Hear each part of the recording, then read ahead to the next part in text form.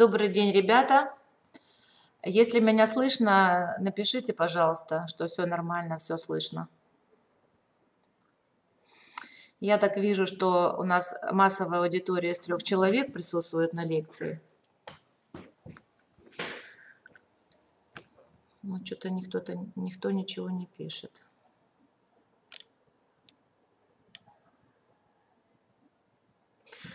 Ну, тем не менее, начнем.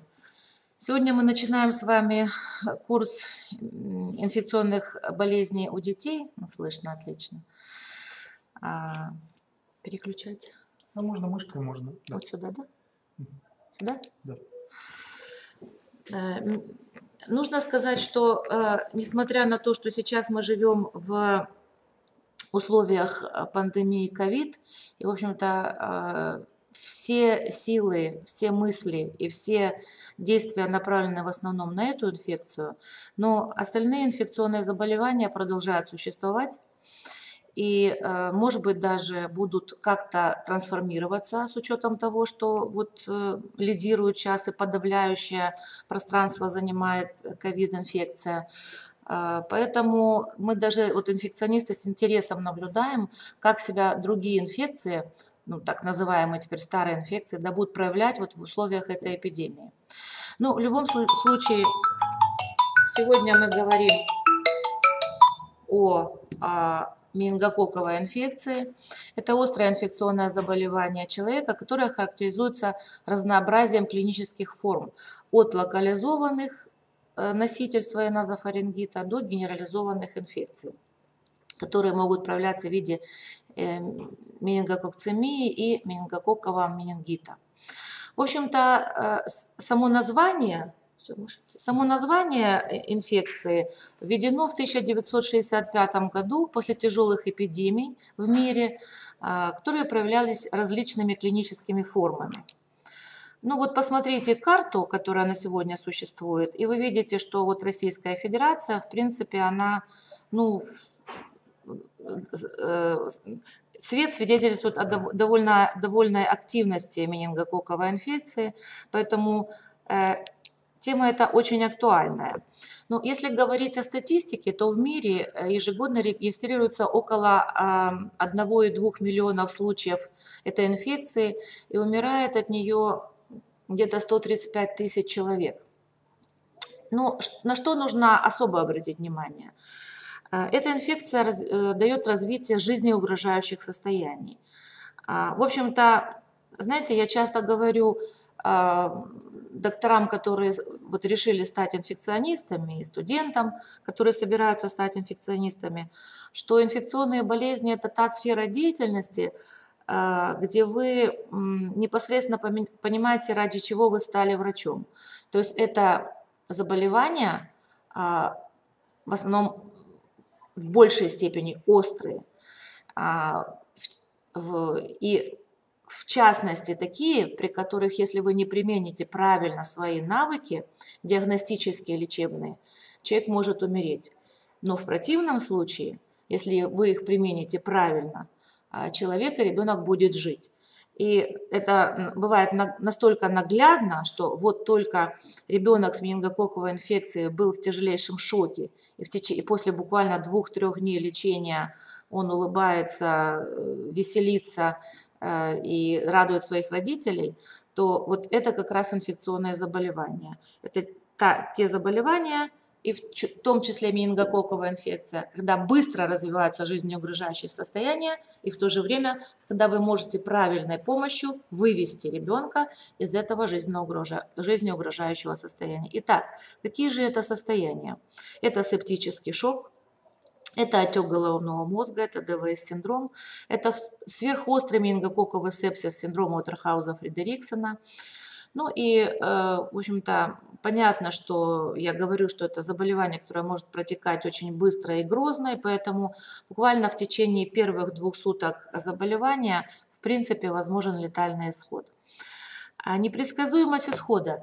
Вы знаете, вот когда я пришла в свою очередь в интернатуру в клинику детских инфекционных заболеваний, которая у нас в Марьино находится, то наши корифеи, которые тогда работали, а, говорили, что Никогда не говори э, в приемном покое родителям, ребенок которых поступил с э, генерализованной формой менингококковой инфекции, что ну все, вы в стационаре, все будет отлично.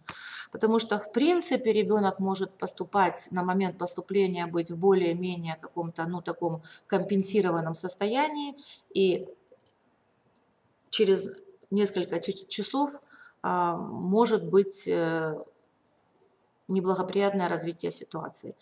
Поэтому с прогнозами при менингококковой инфекции, если это генерализованная форма, нужно быть осторожным. Ну, конечно, летальность при этой инфекции, как и при многих других, зависит от возраста. Чем младше ребенок, тем выше летальность. Поэтому на детей до года э, особое внимание. Ну, посмотрите, если буквально два года назад, вот где-то в шестнадцатом году, когда я читала такую же лекцию таким же студентам, как вы, а, то я показываю им картинку, где заболеваемость шла вот четко вниз. И вот смотрите, за последние два года, ну, за которые есть статистика, потому что, еще раз я говорю, ковидная история многое изменила. Заболеваемость поползла вверх.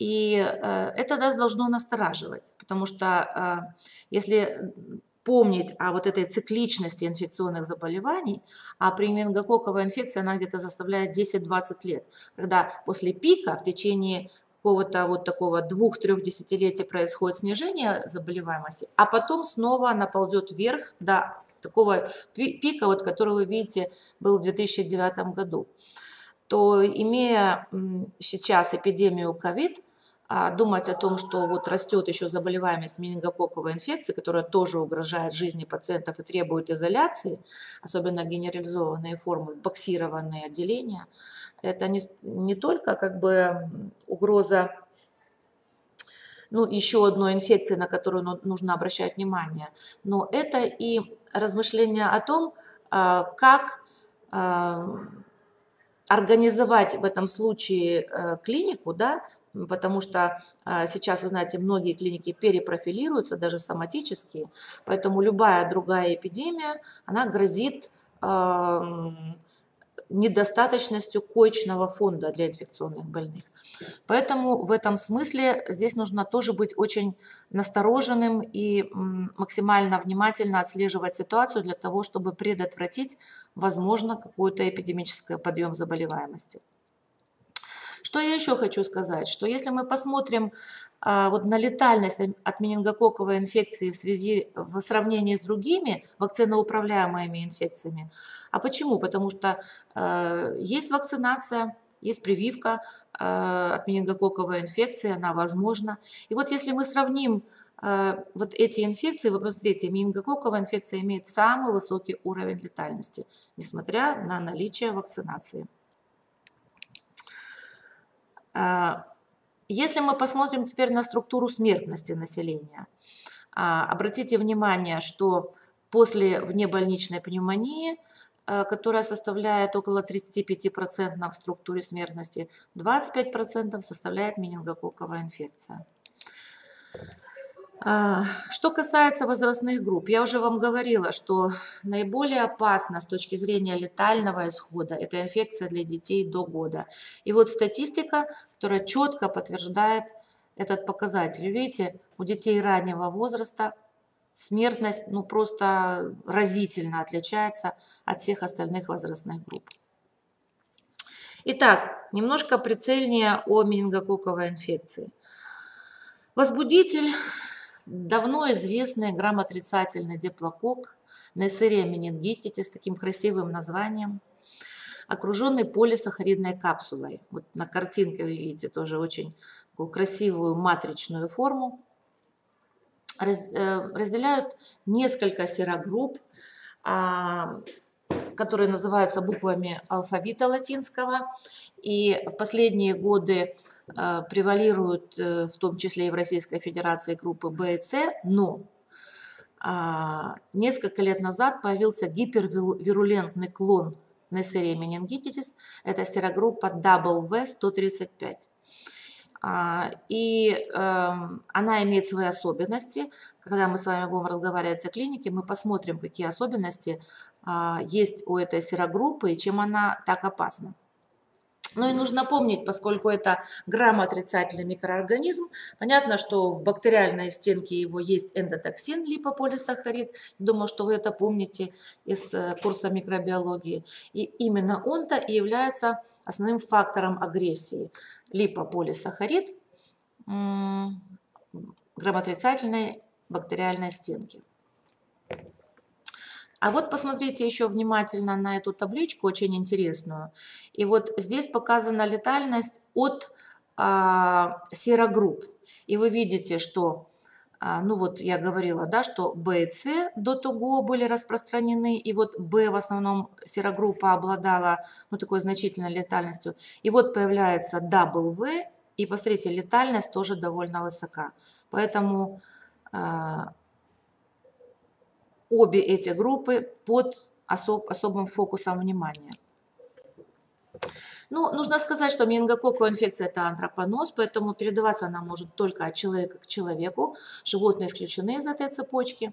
Путь воздушно-капельный, поэтому, конечно, более часто заболевание развивается в зимний период, и даже не столько из-за температуры, потому что может заболевание и летом возникать. И довольно тяжелые случаи, вот там 2-3 года назад а, поступали дети к нам вот именно в самую жару. А играет роль скученность, контакт.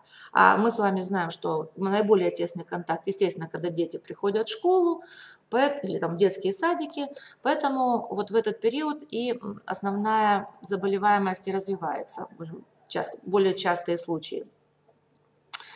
Ну и, конечно, э, зависит э, уровень заболеваемости от вирулентности микроорганизма, потому что контагиозный уровень, контагиозный индекс у менингококков в принципе небольшой, 10-15%. Это не столь высокий э, уровень контагиозности, поэтому скученность и длительность контакта имеют большое значение.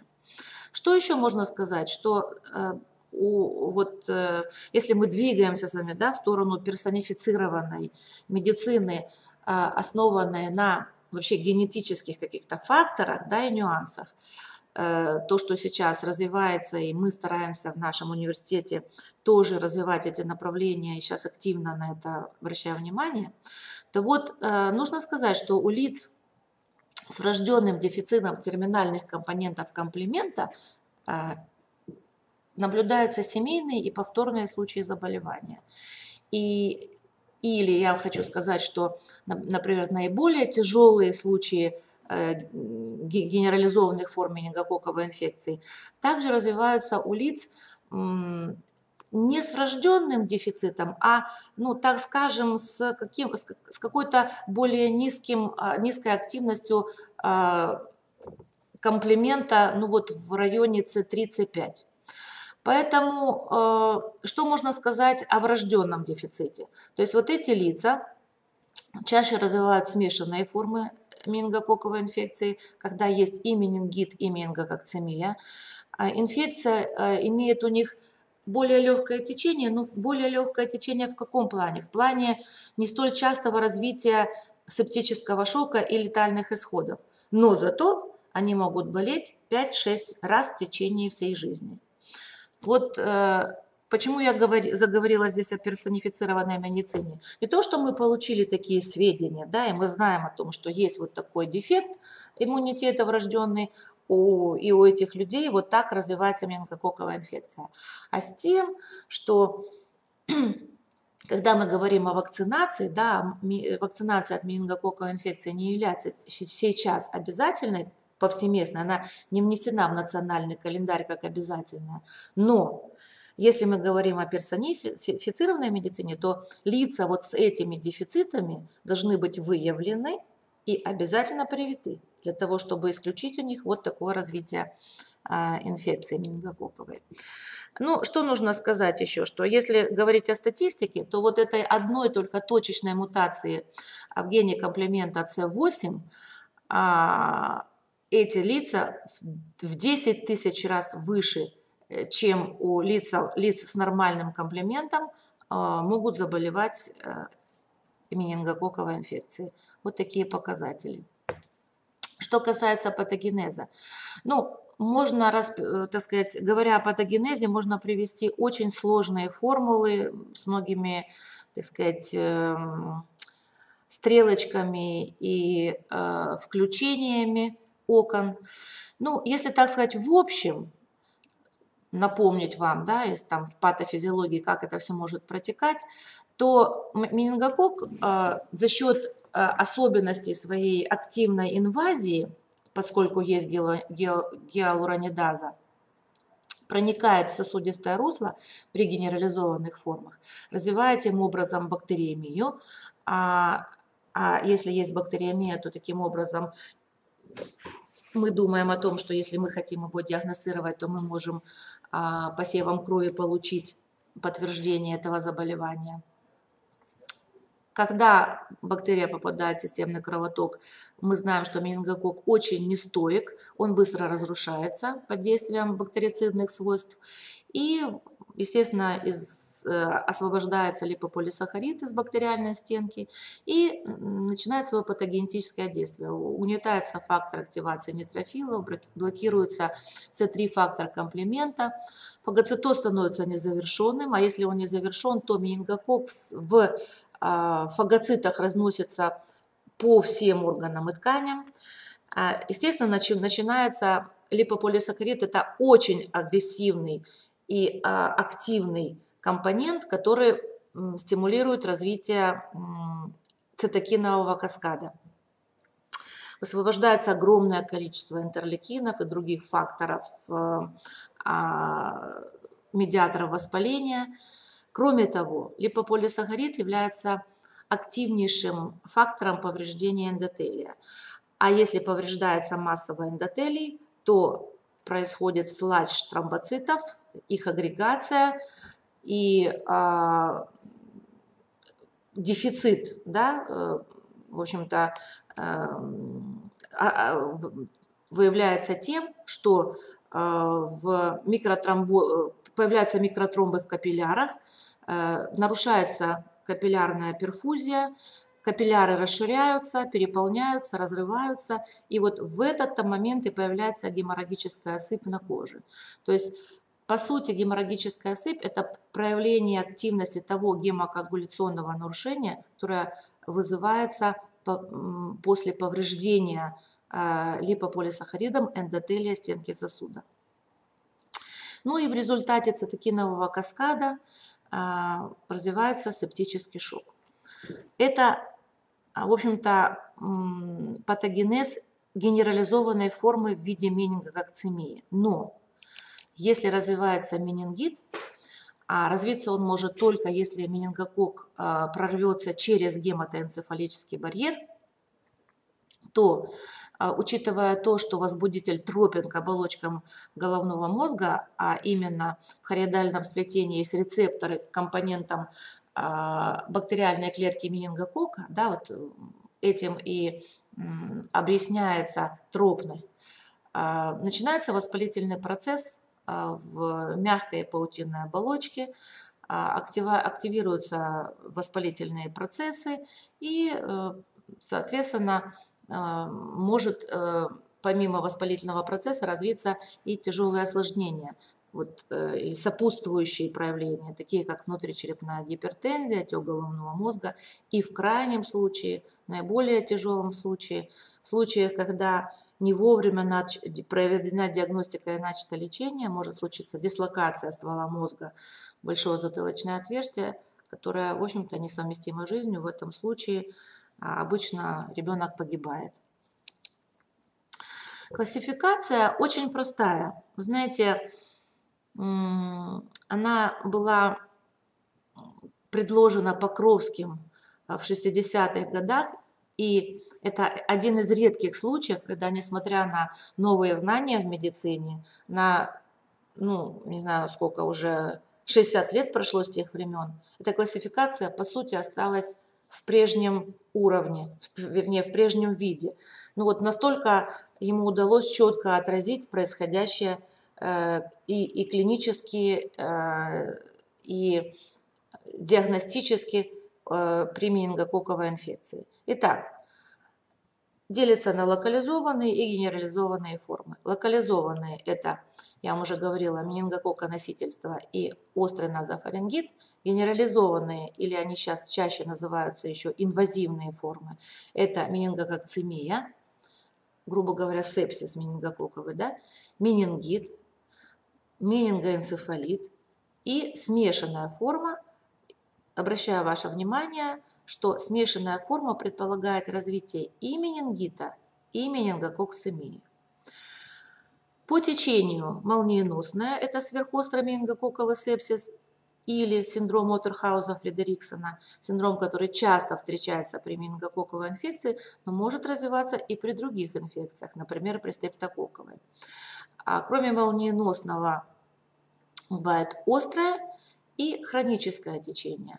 Ну, вот хроническое течение тоже связано или с какими-то аномалиями развития, а, в частности, вот иногда при аномалиях развития спинного мозга могут рецидивирующие формы менингококковой инфекции быть, или с какими-то эм, врожденными дефектами иммунитета, вот про которые мы с вами говорили. По тяжести легкая, среднетяжелая и тяжелая. А, и могут быть редкие формы с поражением э, различных органов и тканей. Это эндокардит, артрит, эридоциклит, пневмония. Пример формулировки диагноза. Менингококковая инфекция, генерализованная смешанная тяжелая форма. Расшифровываем смешанную форму. Гнойный менингит, менингококцемия, острое течение. Или менингококковая инфекция, генерализованная тяжелая форма, молниеносное течение, синдром Отерхауза-Фредериксона. А, локализованные формы, буквально несколько слов. Значит, э, мы говорили, что это может быть носительство менингокока, это временное пребывание возбудителя на слизистой носоглотке без каких-либо клинических проявлений. Обычно оно длится 15-20 э, дней. Носительство с точки зрения биологического, биологической целесообразности, эволюционной, да, это, в общем-то, основной резервуар возбудителя в природе. То есть благодаря возможности носительства он сохраняется и передается от человека к человеку. Потому что если развивается генерализованная какая-то тяжелая форма, то высок риск э, летального исхода, э, и поэтому э, если бы были только такие формы, инфекция бы не сохранилась, она бы угасла. А поскольку есть носительство, она сохраняется вот столь длительное время в популяции. Чаще болеют, э, чаще вот носительство встречается у взрослых. Во время эпидемии менингококковой инфекции носительство может достигать 70-100%, то есть массовое да, инфицирование населения. И очень интересный факт, что заболеваемость менингококковой инфекцией не коллерирует с общей распространенностью носительства. То есть нельзя сказать, что чем больше э, людей являются носителями, тем больше заболевают менингококковой инфекцией. А вот есть прямая корреляция с распространенностью гипервирулентных штаммов. А мы вспоминаем с вами, мы уже говорили сегодня, что гипервирулентный штамм – это штамм W. А второй локализованной формой является менингококковый назофарингит. В принципе, в клинической картине он ничем не, не отличается от какого-то острого бактериального или вирусного заболевания. То есть повышается температура, умеренная интоксикация, головная боль, заложенность носа, при осмотре ротоглотки гиперемия задней стенки глотки, может быть зернистость, может быть слизистая отделяемая или слизно-гнойная отделяемая по задней стенке глотки.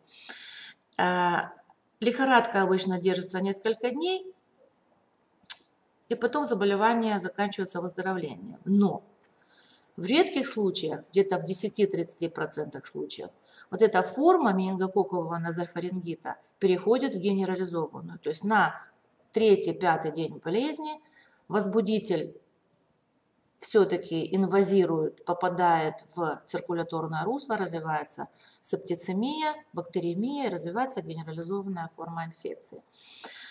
А, конечно, если вы такого больного ребенка осматриваете вот с такой симптоматикой, то а, по какой-то особенности клинической картины невозможно заподозрить именно менингококковую этиологию этого назофарингита. Можно это сделать э, только в двух случаях. Если этот ребенок из очага, то есть если вы видите, а, например, там семейный очаг э, менингококковой инфекции, вы осматриваете ребенка и вот видите у него признаки воспаления носоглотки, тогда вы понимаете, что, ну, скорее всего, это менингококковый назофарингит. Или если при осмотре такого ребенка вы делаете посев из носоглотки и получаете положительный результат на менингококк. А, в остальных же случаях, а, если это первый ребенок в семье заболел, или вы не делаете исследования бактериологического, в принципе, вы не можете сказать по клинической картине, что это именно менингококковая инфекция. Менингококцемия – генерализованная форма, тяжелая форма, которая имеет острейшее начало.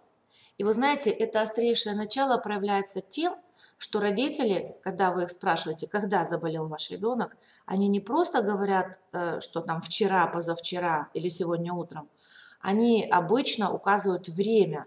Настолько четко, остро и бурно начинается заболевание, что обычно вы слышите в ответ на свой вопрос, вы знаете, ребенок заболел вчера в 7 часов вечера. То есть это вот такой интересный факт.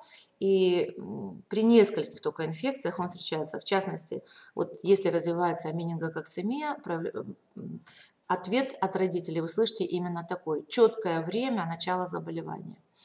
Интоксикация сразу же быстро нарастает и становится тяжелой. То есть высокая лихорадка, вялость, адинамия, ребенок капризный, отказывается от еды. Ну, если он старшего возраста, он сразу жалуется на головную боль. Рвота часто бывает. При тяжелых формах быстро нарушается сознание вплоть до сопора. Где-то через 6-12 часов, редко до двух, часов, э, до э, двух суток от начала заболевания у ребенка появляется геморрагическая осыпь. И Помните, когда мы с вами говорили о патогенезе, мы говорили о том, что по сути вы видите на коже э, да, э, как бы результат гемокоагуляционных нарушений. А, и можно перефразировать так, что э, кожа, по сути, отражает ту катастрофу, которая развивается во внутренних органах. Потому что это не только сыпь, а это и цвет кожных покровов, и цианоз, который может быстро нарастать. То есть э, изменение и сыпь да, в большей части, которая появляется на коже, говорит вам о тяжести и критичности ситуации. Что можно сказать, какие есть такие вот параллели? Чем раньше появляется сыпь, тем тяжелее протекает заболевание.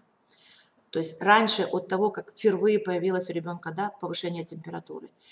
И а, излюбленная локализация сыпь – это боковая поверхность и низ живота, боковые поверхности туловища, естественно, низ живота, ягодицы, бедра, голени. Сыпь очень быстро распространяется на все участки тела. Сама сыпь может быть от петехии до крупных кровоизлияний. А поскольку это геморрагическая сыпь, то вы, конечно, помните, что она не исчезает при надавливании. Она звездчатой формы, ну, классика, звездчатая, звездчатая форма с неровными краями и некрозом в центре. Если вы э, будете пальпировать, да, вот участок с кожи сыпью, то сыпь будет плотноватая на ощупь и может немножко, немножко выступать над поверхностью кожи. Естественно, если развивается все, продолжается дальше, активизируется, прогрессирует, то могут быть кровоизлияния в суставы, склеры, паренхематозные органы.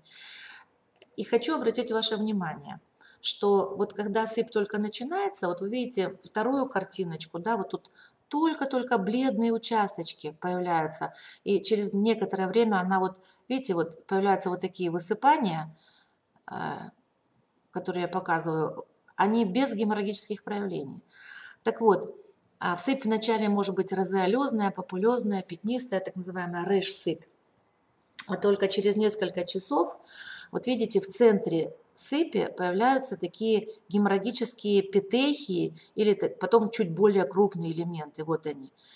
Так вот, а, вот эта, так сказать, каверзность а, иногда, она вводит э, докторов в заблуждение, особенно молодых докторов, а, которые видят такую сыпь, э, не думают о менингококковой инфекции, ну, потому что нет вот этой классической, да, вот такой геморрагической сыпи звездчатой, а, а выставляют какой-то другой диагноз.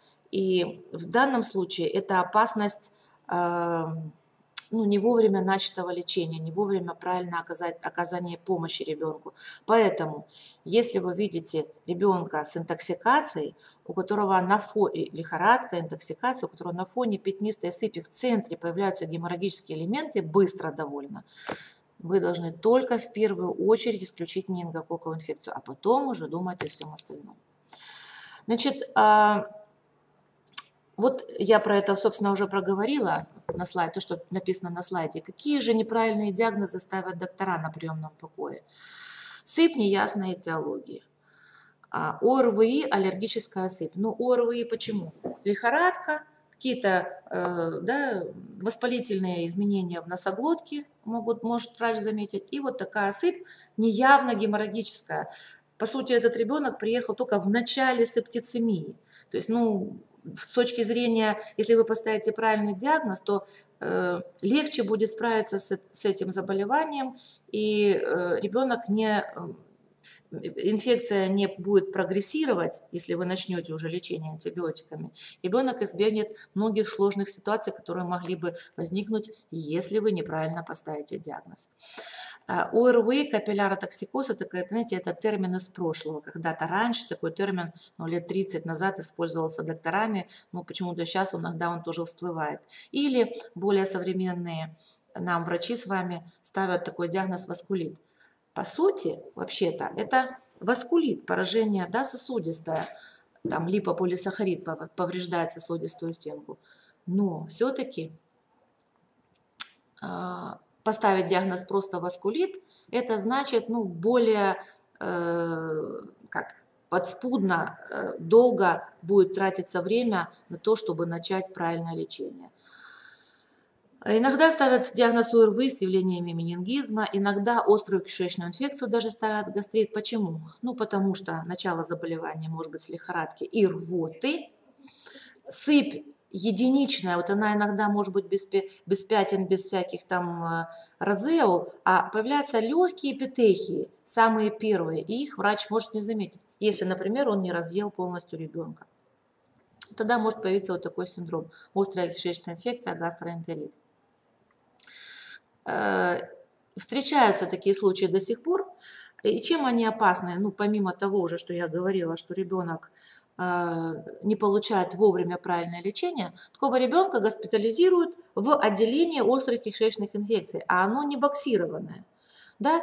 И когда сыпь начинает нарастать, уже доктор видит, что нет, это все-таки не острая кишечная инфекция, меняет диагноз и спускает его в боксированное отделение, а все остальные дети, которые находились на момент тот в отделении гастроэнтерологическом, попадают в контакт. Поэтому э, это второй момент э, опасности эпидемиологический. Иногда ставят корь, когда появляется вот такая сыпь, как я рассказывала, пятнисто-популезная, до того, как появилась классическая геморрагическая с некрозами в центре, вот даже иногда диагноз корь ставят. Ну и я уже проговаривала, что если на фоне лихорадки, выраженной интоксикации, даже при наличии пятнистой сыпи, в центре этой сыпи появляется, в центре пятнистого элемента геморрагия, прежде всего вы должны думать о менингококковой инфекции. Ну вот посмотрите, какие возможны варианты э, сыпи. Классическая, да, звездчатая с некрозом в центре, вот фиолетового цвета на конечностях. Вот здесь сыпь распространена по всему телу. И вы видите, а, вот если ребенок слева, сыпь такая более, она геморрагическая, звездчатая, но она такая более скудная, то справа это уже более такие крупные элементы, и сама сыпь такая более синюшная, и ребенок более бледный. То есть вот чем, да, чем хуже сыпь, грубо говоря, чем она выраженнее, тем вы понимаете даже вот по внешнему виду и по коже ребенка, по цвету, что насколько ребенок тяжелее. Ну вот, а, булезные элементы, вот вы видите, да, что в центре вот такой большой массивной геморрагии, вот прямо була. А, по сути, да, похоже даже вот на ожоговые такие компоненты. Ну вот здесь прям совсем булезная форма, а, ужасная. А вот некрозы, какие обширнейшие, да, вот ягодиц некрозы, пальцы часто приходится ампутировать после такого поражения, ну, потому что это практически полный некроз тканей происходит. И, конечно, хорошего мало. Синдром Отерхаус-Фредериксона. Я вам уже говорила, что чаще всего у детей он развивается при менингококковой инфекции, ну классика, но может быть и при каких-то других инфекциях бактериальных, в частности, описывают при стрептококе. Ну, мне вот никогда не приводилось видеть при стрептококковой инфекции, а при менингококковой инфекции, ну, редко который год проходится, чтобы какой-то из детей там, в Республике Крым не погиб от синдрома Утерхауза-Фредериксона. Итак, чем же отличается? Как, как доктор может понять, что это вот не просто развивается генерализованная форма, а что вот с самых первых часов развивается такой супер острый мингококковый сепсис, а значит он должен понимать, что это катастрофически развивающееся заболевание с высочайшим риском смерти. Итак, а, во-первых, от развития болезни, то есть первого повышения температуры, до крайней степени шока проходит очень мало времени, 2-6 часов. То есть, по сути, если это обычно почему-то, это рано утром появляется, так, возникает заболевание, пока родители поняли, что такое, увидели сыпь, позвонили в скорую помощь, пока скорая помощь приехала, уже иногда терминальный шок у ребенка. Начало болезни особо у бурное, просто вот острейшее начало и всегда будет тяжелейший озноб, вот такой выраженный озноб, рвота. Рано появляется геморрагическая сыпь. Если я вам говорила, что ну, обычно там 6-12 часов, иногда 24-48, то здесь буквально с первых, вот с первого подъема температуры уже начинается появляться геморрагия. Очень характерно появление обильной сыпи на лице. Мы с вами уже сегодня говорили, что чаще всего это боковые поверхности туловища, конечности, а здесь мало того, что она появляется на лице, мало того, что быстро распространяется по туловищу, вот мы еще называем это нарастание сыпи на глазах. То есть пока вы ребенка осматриваете, слушаете, да, вы слушаете там сердце, легкие, вы видите, что у вас на глазах эта сыпь расползается и появляются новые элементы. Ну, это, знаете, такое, ну, довольно такое серьезное испытание для врача, потому что часто молодые врачи просто, ну, под, под, ну, как бы поддаются панике, потому что понятно, что, ну, что-то очень плохое, очень катастрофичное, и иногда вот э, врачи прямо паникуют. Быстро появляются признаки нарушения гемодинамики. Ну и когда это агональная стадия, то очень тяжело смотреть на такого ребенка в реанимации, потому что ну, это практически общий цианоз с таким обширнейшим, вот, с обширными геморрагиями, они все слились друг с другом. И вот обычно ребенок лежит на спине, на спине, на нижней части конечности, вот на, да, прилегающей там к столу, Э, кровати, на которой лежит ребенок, э, ткани, прям вот появляются синюшные по типу трупных пятен у живого еще ребенка. Ну, это, конечно, очень такое страшное зрелище. Вот я вам показываю, какие варианты есть синдрома Утерхауза Фредериксона. Посмотрите, это действительно ну, тяжелейшее заболевание, тяжелейшее состояние. Ну и вот вы видите анатомический Почему этот синдром развивается? Потому что это кровоизлияние в надпочечник. Вот видите, а, патологоанатомический э, препарат, надпочечник весь полностью пропитан кровью. Конечно, это несовместимое с жизнью состояние, поэтому, как я вам хочу сказать, врач всегда надеется на то, что он может помочь, не думают о том, что будет фатальный исход, несмотря на то, что, например, там первые признаки говорят о том, что это Утерхаус Фредериксон. Но здесь крайне важно вот вовремя, вот при этом синдроме вовремя и массивно оказать помощь и быстро доставить ребенка, ребенка в реанимационное отделение. Ну, тогда какой-то шанс есть. Ну вот еще синдром Утерхауза Фредериксона, видите, какие тяжелейшие поражения. Вторая форма, это сейчас мы с вами говорили о менингококцемии, то есть это менингококковый сепсис, тяжелая инвазивная форма. Теперь мы говорим о менингококковом менингите. А, это может быть изолированная форма, без сепсиса, без сыпи а, специфической на коже, да, а просто а, клинически развивая, вернее, клиническая картина появляется менингита. Э, ну, я уже проговаривала, что это воспаление паутины и мягкой мозговых оболочек головного и спинного мозга, когда менингокок проникает через э, гематоэнцефалический барьер. На что я хочу обратить ваше внимание сразу, что если развивается такая форма заболевания, то вот хотя здесь на слайде мы говорим менингококковый менингит, доктор, который на приемном покое находится, он не может понять сразу, что это менингокок, потому что менингитов много бактериальных у детей, стрепта, стафила, пневмококковые. А поскольку нет специфической сыпи геморрагической звездчатой, то сразу вот так клинически поставить, что это именно менингококковая этиология нельзя. А, ну, когда мы с вами вот так изучаем в тексте лекции, я вам буду рассказывать про него как про менингококковый. Итак, то же самое. Начинается остро, бурно, внезапно, быстро поднимается температура тела до высоких цифр, адинамия, сонливость, безучастность. Но помимо вот таких синдромов интоксикации появляется общий мозговой синдром. Это сильнейшая головная боль, которая становится мучительной, распирающей. Если ребенок взрослый, ну, более старшего возраста, который может описать и пожаловаться, он вот так будет вам жаловаться на такую головную боль. Повторная рвота – второй важнейший признак, связанный с повышением внутричерепного давления, когда развивается менингит. Характерно, что эта э, рвота не связана с приемом пищи и не приносит облегчения. И гиперэстезия ко всем видам раздражителей, к прикосновению к, звук, световым и звуковым раздражителям. Еще раз хочу обратить ваше внимание на эту триаду – вот если вы видите на дому или на приемном покое ребенка, у которого есть лихорадка, рвота и головная боль, вы обязаны думать о менингите, а вот это раздумье ваше о менингите должно вылиться в то, что вы должны проверить менингиальные знаки. Очень часто, сплошь и рядом, вот молодые врачи, которые на приемном покое начинают дежурить, Ребенок, естественно, поступает с родителями, с мамой там, например.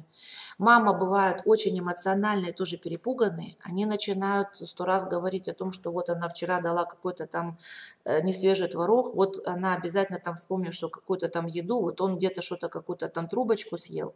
Вот у него, вот он рвал, вот у него, наверное, так сказать, э, какая-то кишечная инфекция. Вот он уже рвал, вот все, значит, ребенок себя плохо чувствует.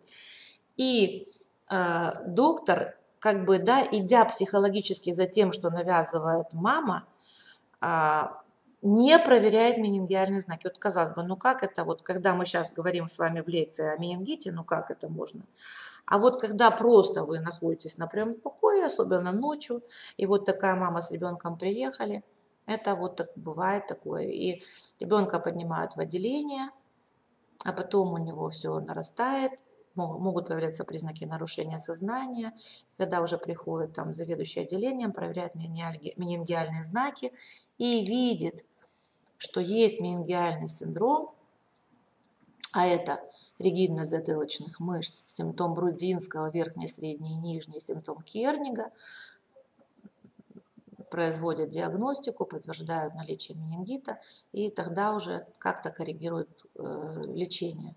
Поэтому если, возвращаясь к тому, вы видите ребенка с лихорадкой, рвотой и головной болью, а, то вы э, обязаны не забыть 100% проверить менингиальные знаки.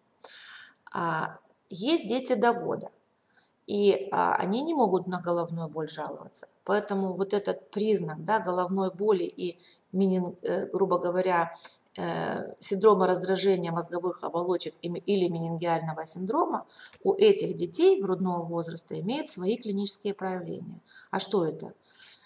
Поскольку развивается из-за воспаления мозговых оболочек, да, гипертензия, то есть повышенная выработка ликвора, как признак воспаления, то у них выбухает большой родничок. Выбухает и напряжен. Вот вы видите на картинке ребенка, ну так тут не прям вот прям, как иногда бывает прям вот видно издалека, еще к ребенку не подошел, что этот родничок выбухает. Но тут, если хорошо присмотреться, вы видите, что возвышение такое в, в месте большого родничка. А, это первый симптом. И второй симптом лисажа.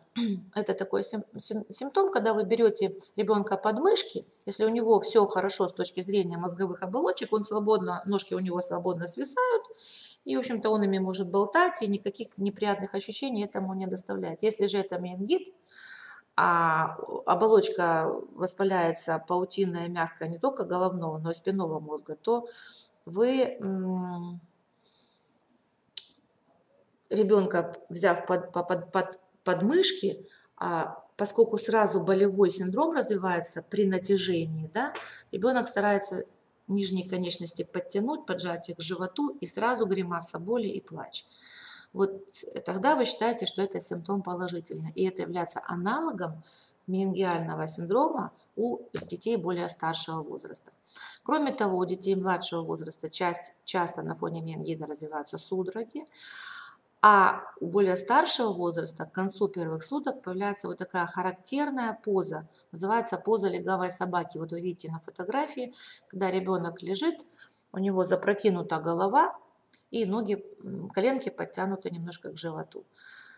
А, я хочу вам сказать, что до сих пор вы можете такого ребенка увидеть, а, а особенно если заболевание началось и вовремя не распознали сразу, вот, которые или не вызвали, роди, э, иногда могут родители не вызвать сразу врача к себе домой, поскольку, ну, думают, ну, температура, очередное там какое-то ОРВИ, и э, врач приходит с запозданием из-за того, что его не вызвали родители или не привезли ребенка показать в поликлинику, то вот такая поза легавой собаки может возникнуть. Мы с вами говорили о том, что есть гипервирулентные штаммы. И я вам говорила, что когда мы будем разбирать клинику, мы говорим вот эти особенности заболевания, которые вызываются этой серогруппой возбудителя. Вот у этих детей, у которых заболевание менингококковой инфекции вызвано штаммом WV135, вот у них аномально подострое начало. То есть то, что я вам раз пять повторила, что характерно, бурное, острейшее, буквально время указывается родителями а, начало, вот здесь оно может быть подострым. И это коварное заболевание. Поздно появляется сыпь. То есть если обычно мы с вами говорим 6-12, ну в крайнем случае в первые двое суток, то здесь сыпь может появиться на четвертые шестые сутки. Сыпь не очень обильная, не такая, как вот я вам показывала картинки, сразу появляется классическая сыпь. Наиболее тяжело, внимание, протекают у детей старшей возрастной группы.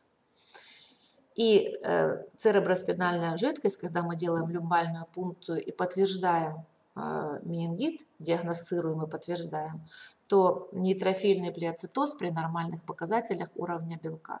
То есть вот имеет форма это свои особенности. Ну, менингококковый менингоэнцефалит – это буквально, я скажу, несколько слов, э, потому что энцефалиты, менингоэнцефалиты, в общем-то, вы разбираете в курсе нервных болезней, и этот менингококковый ничем не отличается. Э, понятно, что развивается он при переходе воспалительного процесса с оболочек на вещество мозга. Чаще всего это бывает при поздней обращении за медицинской помощью и из-за несвоевременно начатого лечения менингита. В клинической картине такого ребенка доминирует энцефалическая симптоматика, то есть появляются помимо общемозговых и менингального синдрома еще и очаговые симптомы. А, поражение черепно-мозговых нервов, паразы, параличи, судороги генерализованные. И связана вот эта топика да, с тем участком мозга, который подвергся а, воспалению. А, Еще раз возвращаю вас к классификации. Если вы помните, мы там говорили о генерализованных или инвазивных формах менингококковой инфекции, что они есть менингококцемия, сепсис, когда нет менингита, а только вот а, интоксикация, геморрагическая сыпь, вот сепсис. Есть менингококковый менингит, когда есть признаки э, общемозгового и менингального синдрома, но нет классической геморрагической сыпи, а есть смешанная форма менингит плюс менингококцемия. Когда у ребенка развивается и классическая геморрагическая сыпь, то есть сепсис протекает, и есть признаки менингита, развивается менингит. И, э, к счастью, эта форма наиболее частая у детей. Почему я говорю к счастью? Потому что а, статистически, если у ребенка смешанная форма или развивается только менингит, а, риск смерти и вообще не риск, а статистически смертность меньше, чем у детей, у которых развивается только менингококцемия. Вот, э, а почему? Потому что э, симптомы шока и частота инфекционного шока или септического шока, она э, меньше у детей с менингитом и смешанной формой, чем у детей с менингококцемией. Ну и редкие формы мы перечисляли в нашей с вами классификации, которую мы, не нашей с вами, а Покровского, которую мы сегодня с вами уже разбирали. Это поражение суставов, артриты, часто коленные, голеностопные, то есть крупные суставы. Характерно классический боль, отек, гиперемия сустава. Вот вы видите вот, э, да, отечность кисти и вот коленки. Осложнения делятся на ранние и поздние. Крайним, наиболее опасным является септический шок и отек головного мозга.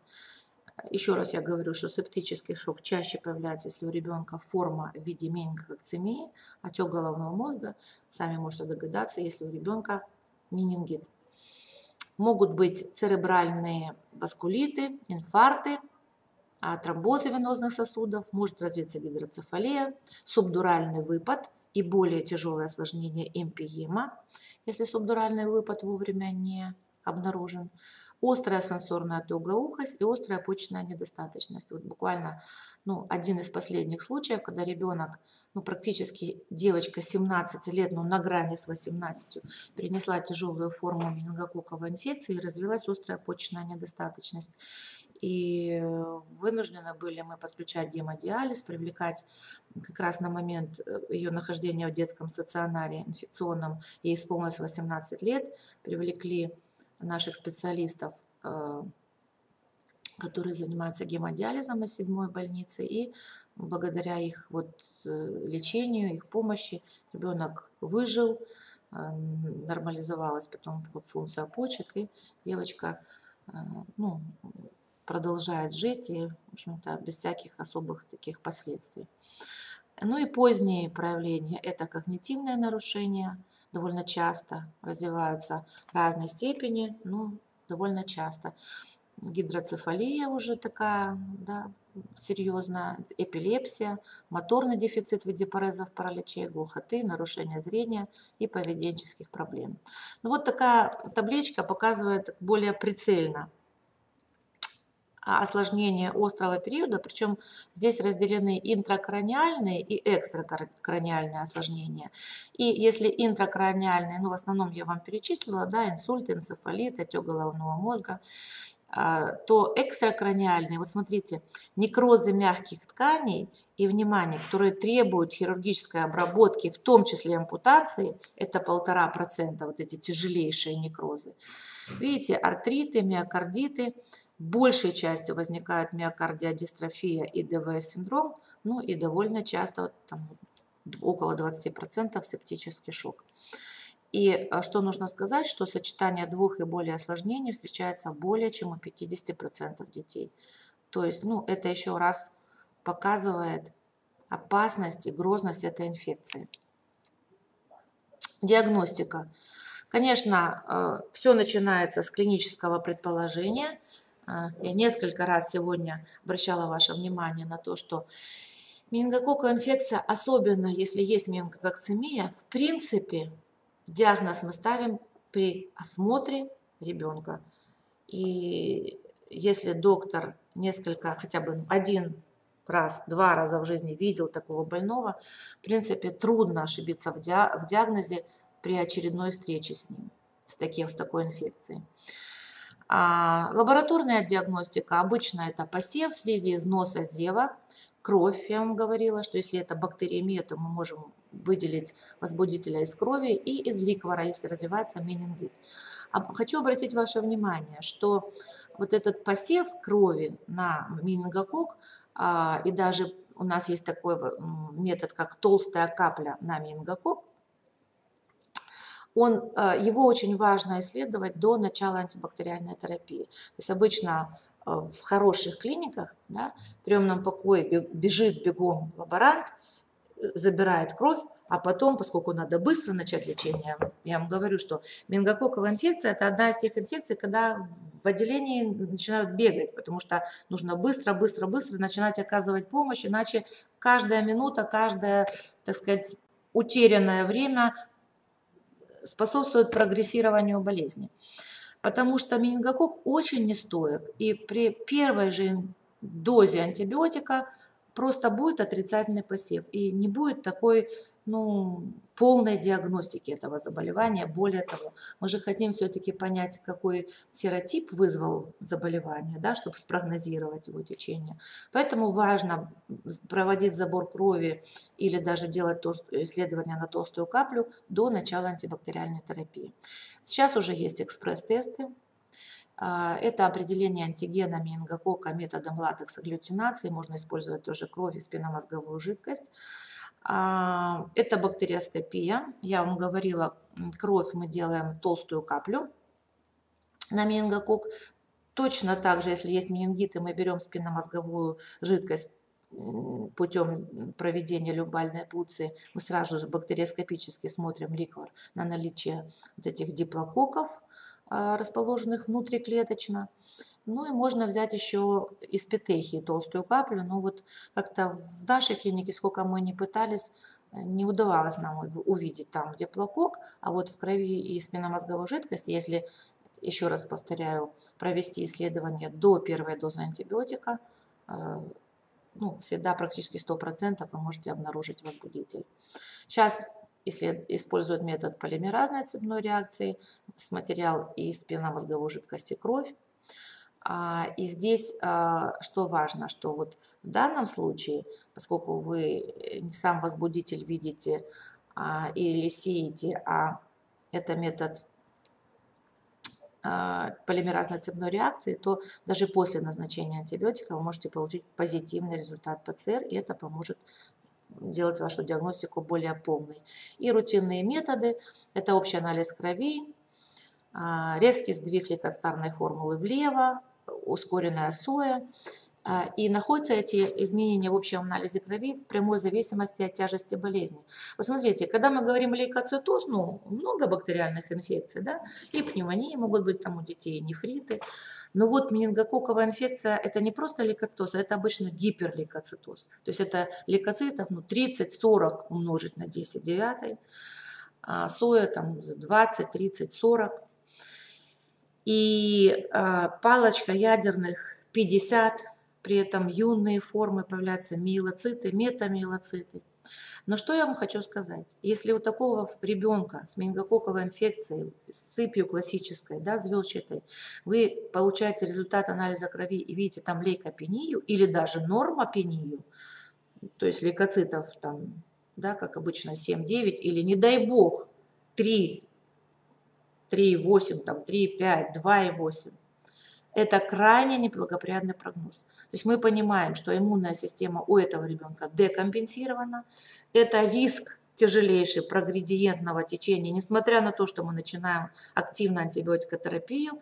И таким детям обычно к влечению добавляют иммуноглобулин, ну, как, по сути, иммунодефицитному ребенку. Ликвар.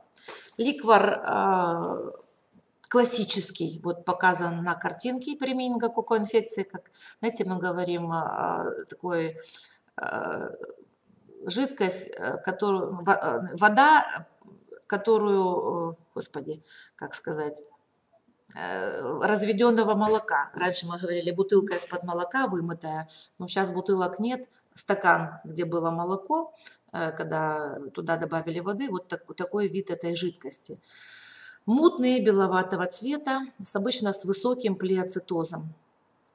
Причем этот плеоцитоз, поскольку это бактериальная инфекция, конечно же, за счет нейтрофилов. Низкое количество глюкозы, потому что это коковая флора, использует глюкозу в качестве питательной среды, и ликвор всегда падает, а, количество его содержания. И при, я уже говорила, что при микроскопии можно обнаружить менингококк. Дифференциальный диагноз. Если это менингококковая инфекция, то мы проводим со всеми заболеваниями, при которых у ребенка может появиться геморрагическая сыпь.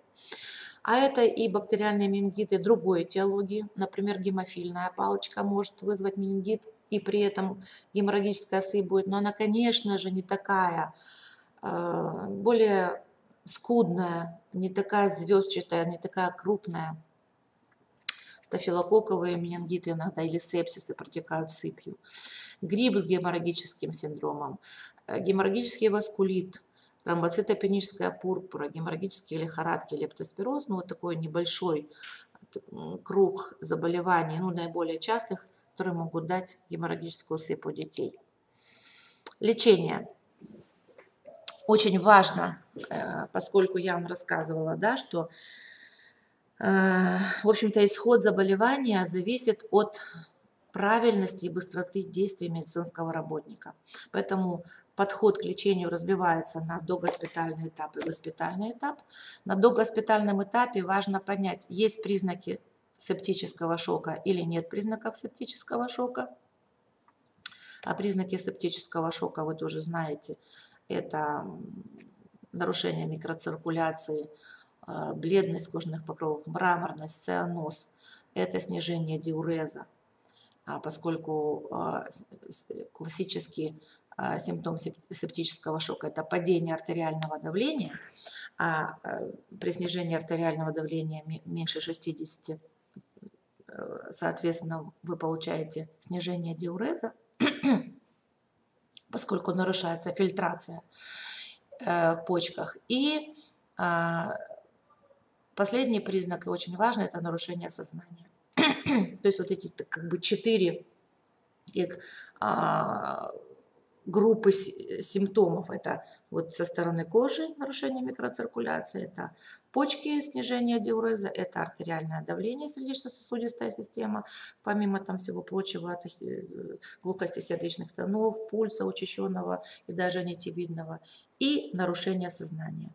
Вот на этих четырех китах здесь ждется диагностика клиническая септического шока. Так вот, если таких признаков нет, терапию начинают немедленно на дому с последующей госпитализацией.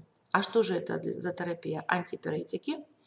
А, ну, вы знаете, детям аналген не используем маленьким, стараемся только в крайнем случае, а так отдаем предпочтение парацетамолу и бупрофену. Обязательно преднизолон, не менее 2 мг на килограмм внутривенно по приказу номер 375. Это, если возможно, быстрая госпитализация, то есть если вы знаете, что вы довезете ребенка за 30 минут до стационара, то антибиотики начинают уже в стационаре, а на этапе госпитализации, транспортировки от них воздерживаются. Потому что вы знаете, что а, менингококк очень нестойкий микроорганизм. И если вы дадите антибиотик, происходит, произойдет быстрое разрушение возбудителя в системном кровотоке, а соответственно мы с вами патогенез только что разбирали, начнется шок. И в, в транспортировочной машине будет сложно справиться с, вот, с развившимся грозным осложнением. А если невозможна быстрая госпитализация, то начинают э, с цефтриаксона или цефатоксима, а может быть и слевомицетина сукцината, если он есть, в разовой дозе, и обязательно э, иметь сосудистый доступ. Опять же, для того, что я сказала, что если вы введете антибиотик и начнутся как-то симптомы, показывающие на развитие септического шока, чтобы вы вовремя подключили остальную терапию уже на этапе транспортировки. И если есть выраженный менингиальный синдром, на догоспитальном этапе вы э, делаете лазикс. Если э, на догоспитальном этапе есть признаки септического шока, ребенок бледный, с акрационозом, с падением давления, там одна-вторая от нормы, с снижением диуреза, с нарушением сознания, ребенок сомнолетный или в сопоре, то терапия должна септического шока начинаться с догоспитального периода. То есть за 5 минут вы должны оценить ситуацию, понять, что с микроциркуляцией, оценить степень нарушения сознания, обеспечить проходимость дыхательных путей, дать кислород. Вот часто э, забывают, начинают сразу рассказывать лечение критического состояния с катетера. Первым делом всегда, какое бы критическое состояние ни наступило, кислород. Следующие пять минут обеспечивайте сосудистый доступ. Если трудно, невозможно, а поскольку здесь шок, если да, иногда бывает и невозможно поставить венозный катетер, внутрикозное введение растворов. И начинаем инфузию с болюсного введения физраствора 20 мл на килограмм, но не более 500 мл. Значит, э, здесь я вам что хочу сказать поскольку мы разговариваем сейчас о транспортировке и о том, что как важно уметь а, получить венозный доступ, поэтому я вас всех призываю к тому, чтобы этому учиться. Есть симуляционный центр, если нет доступа к больным, сначала в симуляционном центре, а потом на производственной практике вы должны сами уметь это сделать, потому что от этого зависит жизнь ребенка. А следующие 15 минут повторное болюсное введение физраствора. Можно использовать человеческий 5% альбумин 20 мл на килограмм, а, поскольку это поддерживает да, давление артериальное. И обязательно при септическом шоке введение гидрокортизона и преднизолона именно двух этих э, стероидов. Так сказать, количество введения зависит, э, доза зависит от степени шока. Вы знаете, сейчас секундочку.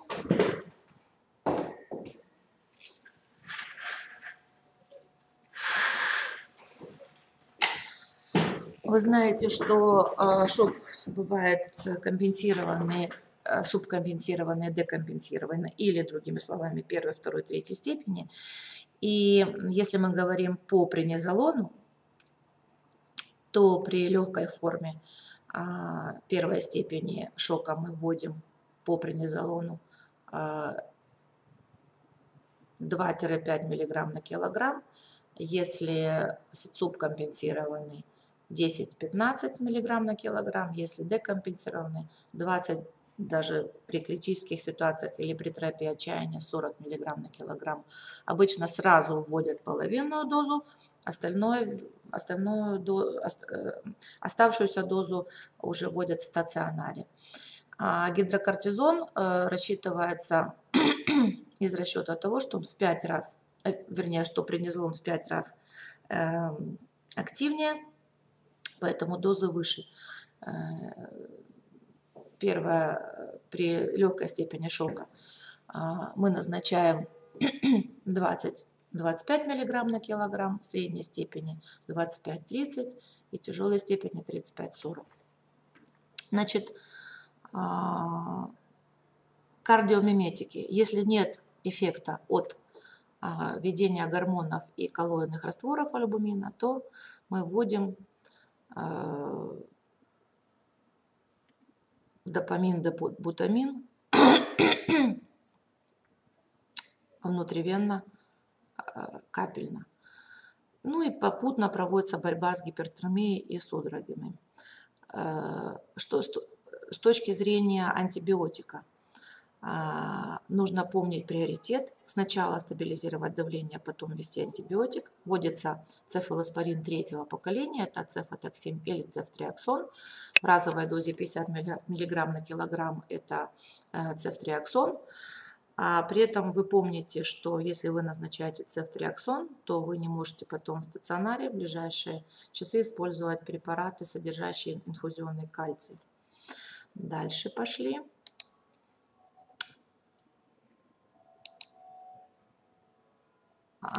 Ошибки на догоспитальном этапе.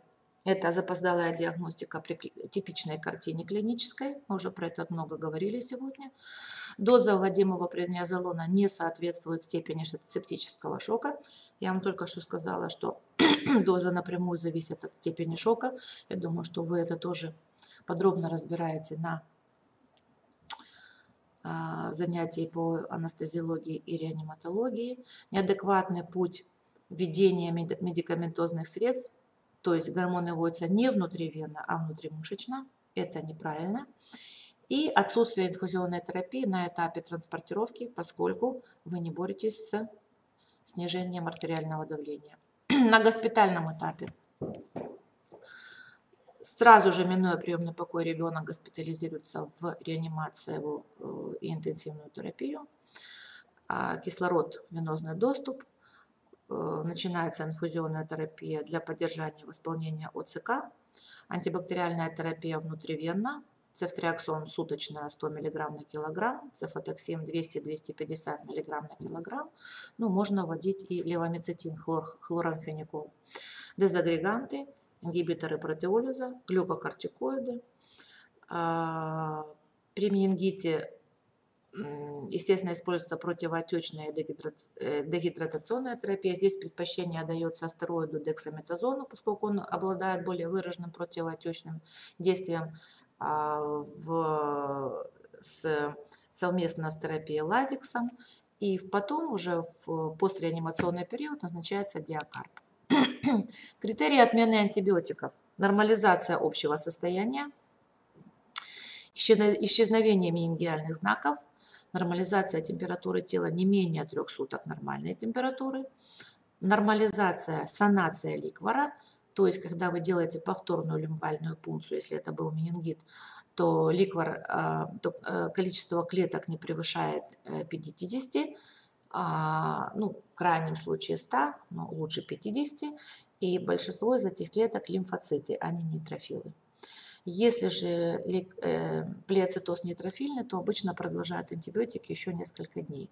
Но вообще, в общем, при менингококковой инфекции она довольно хорошо поддается лечению антибактериальной терапией. И вот необходимые условия наступают где-то с 7 по 10 день от начала лечения. То есть антибактериальная терапия недолгая. Ну, на какие документы я хочу обратить ваше внимание? Санитарные правила, профилактика менингококковой инфекции. Хочу обратить ваше внимание, что выявление больных генерализованными формами менингококковой инфекции осуществляют врачи всех специальностей. А, поэтому это, об этом заболевании и о клинике и нужно знать всем. А, нужно знать всем, что если такой больной выявлен, его немедленно нужно госпитализировать в инфекционный стационар. Как и при всех других заболеваниях, подается экстренное извещение на это заболевание, и карантин накладывается сроком на 10 дней. А, а еще особенность этой болезни, что если есть карантин, то все контактные лица должны подвергнуться химиопрофилактике. Обычно взрослым дают рифампицин, а, вернее ципрофлоксацин, а детям дают амоксициллин. Рифампицин здесь указан потому только, что он указан в рекомендациях Всемирной организации здравоохранения. В принципе, а, мы с вами знаем, что менингокок очень чувствителен к антибиотикам, поэтому любая антибактериальная терапия позволит нам не допустить развития заболевания, если возбудитель а, попал на слизистую носоглотки контактных лиц. Вакцина профилактика. В общем-то, а, вакцина профилактика, я вам говорила, она не входит в национальный календарь обязательной вакцинации для детей, но есть случаи, когда она проводится массово. И эти случаи указаны вот в этих э, санитарных правилах. То есть если есть э, очаги, возникают вторичные очаги генерализованной формы менингококковой инфекции в течение одного месяца, то тогда, если установлена серогруппа, то тогда происходит экстренную вакцинацию вакциной вот в данном регионе. Ну и, в общем-то, есть особые другие случаи, когда вакцина профилактика обязательна. Об этом можно прочесть в этих, санаторных, э, в этих санитарных правилах. Вот табличка, где перечислены вакцины, а, которые существуют, э, разные, а, но что я хочу обратить ваше внимание. Конечно, в данной ситуации и в Российской Федерации нужно э, использовать вакцины, где есть а, в состав а, для профилактики входит а, серогруппа W. То есть вот не во все, вы видите, а, в составы вакцин эта э, серогруппа входит. А поскольку мы знаем, что она дает 35% летальности и э, существует сейчас активно на территории Российской Федерации, то вакцину нужно выбирать вот такую. Это вакцина профилактика, вот это регламентирующие документы, которые вы должны знать. Я вам сегодня уже говорила приказ номер 375, где указано, какие методы а, медикаментозного лечения на догоспитальном этапе. А, есть методические указания хорошие о диагностике менингококковой инфекции санитарные правила я вам показывала, и другие источники, которые вы можете использовать, чтобы расширить и углубить свои знания по этому заболеванию. А, закончить лекцию я вам хочу, хочу э, тем, что повторю, что менингококковая инфекция – это заболевание, которое хорошо поддается антибактериальной терапии. И если вы а, будете знать эту инфекцию, знать ее клинические симптомы, если вы будете понимать, как нужно оказывать помощь на догоспитальном и госпитальном этапе, вы, вы поможете а, ребенку остаться не просто здоровым, но и живым, не только живым, но и здоровым. И вы реализуете ту цель, собственно говоря, ради которой вы шли а, в медицинский университет. А, спасать людей. Ну, на сегодня все. До следующей лекции. Надеюсь, что лекция была вам полезна. До свидания.